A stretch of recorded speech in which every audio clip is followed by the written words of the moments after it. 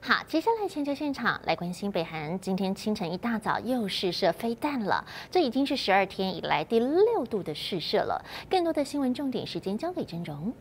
好，大家早安！全球现场时间带你来关注的是最新的消息，这是南韩军方今天就表示说，北韩今天的清晨再度朝日本海发射弹道飞弹，这也是十二天来第六次北韩发射飞弹。同时间，这也是北韩继周二向东部海域发射疑为火星十二型的中程弹道飞弹，时隔两天之后再度发射弹道飞弹。由于北韩的外务省呢，之前他们谴责美国的核动力航母雷根号重返朝鲜半岛海域是严。严重威胁了该地区的和平稳定，所以外界就解读说，北韩这样的抗议的味道是十分的浓厚的。而南韩军方现在也在着手分析相关的射程高度、还有速度等等的参数。北韩今天清晨再度发射飞弹，外媒就分析说，可能是因为北韩当局不满美国航母雷根号五号重返到东海的国际公海区域。南韩军方就形容说，这项动作是十分的罕见的，因为雷根号在上周的时候才结束了韩美日的联合军演，这么短的时间之内就在重新部署，确实是相当的不寻常。而雷根号的动作似乎也是在展现韩美之间联手要应对北韩挑衅的决心。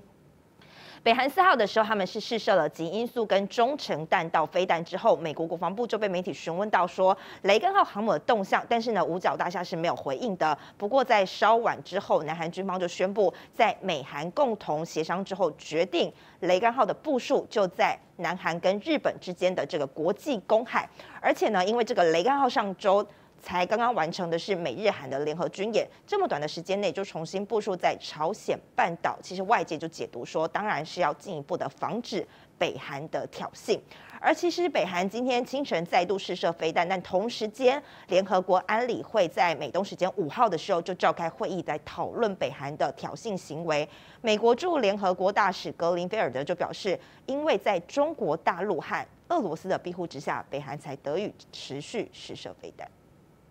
The DPRK has enjoyed blanket protection from two members of this council.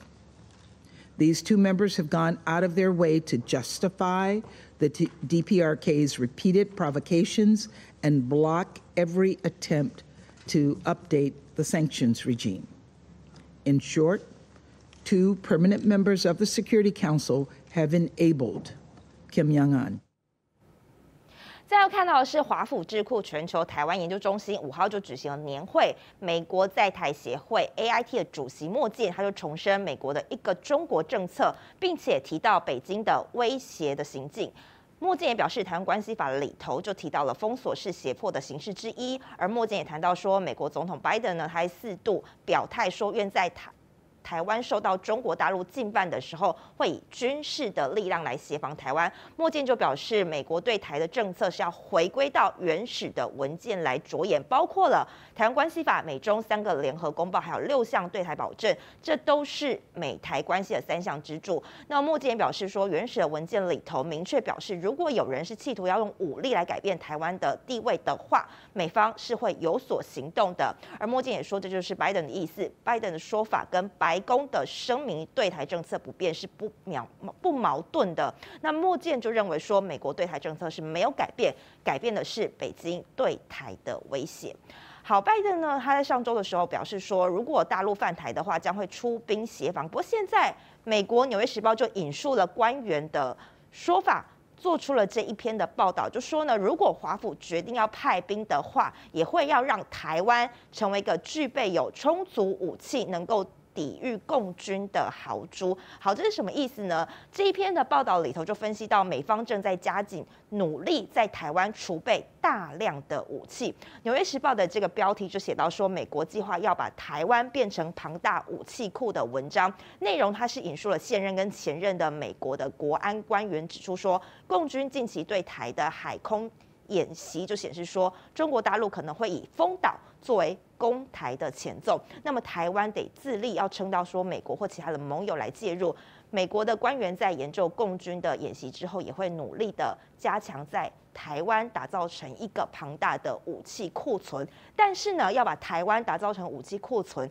也会面临的一些挑战，包括像是美国跟其盟邦。他们呢，现在在运送武器到乌克兰，从俄乌战争这件事情来分析的话，其实是他们在消耗自身的武器库存，而且如果武器制造商没有稳定长期的订单流的话，是不会愿意开设新的产线的。所以现在也不知道说，如果美国加速运送武器给台湾的话，那么大陆到底会有什么样的反应呢？好，不过可以确定的是，中国大陆近来是大秀军事肌肉，才刚刚庆祝完第三艘的航母福建舰展开细薄试验，同样搭配着电磁弹射技术的美国航母福特号，美东时间四号就正式出航了，展开二零一七年服役之后的首次部署。福特号也是美国海军四十年来设计的第一艘新型航母，首次的任务将加入北约盟友的演习，为明年正式的巡弋做暖身。美国海军四十年来第一艘新型航母福特号四号从维吉尼亚州的诺福克港出航，展开服役后首次部署。美国海军表示，这次任务是为了让福特号和北约盟国演习，为明年正式巡弋做准备。About 2,700 sailors are part of the crew for the Ford's first deployment, coming more than five years after the ship was commissioned. 福特号二零零九年底开始建造，二零一七年正式服役，原定二零一八就能展开任务。不过因为问题不断，时隔五年才展开首次。部署，福特号配备二十三项新技术，包含拥有比尼米兹级航母多三倍电力，使用电磁发射系统和双波段雷达。福特号是福特级第一艘航母，美军也已经开始建造其他两艘福特级航母。和大陆航母福建舰相比，福特号排水量十万吨，配备四套核动力电子弹射系统，三台飞机升降机来负荷七十五架以上以 F 三十五为主的舰载机。作为首艘国产弹射型航母，福建舰的诞生对航母部队的发展有着深刻的意义。而福建舰排水量则约八万吨，同样配备电子弹射系统，差别在于只有三套，并且以传统动力发电。福建舰配备两台升降机，搭载将近七十架舰载机，以歼十五战斗机为主。虽然数量不比福特号，但未来可能会配置无人机，届时总数将达到一百架以上。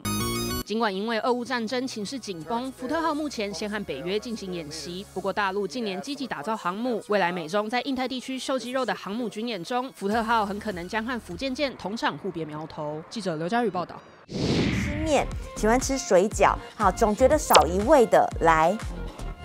这一块是什么？海皇 XO 干贝酱，直接来这个 QR code，快点购 QR code，来帮我扫一下。快点购 QR code 里面呢有很多中天严选的商品，喜欢的好朋友们千万不要错过喽。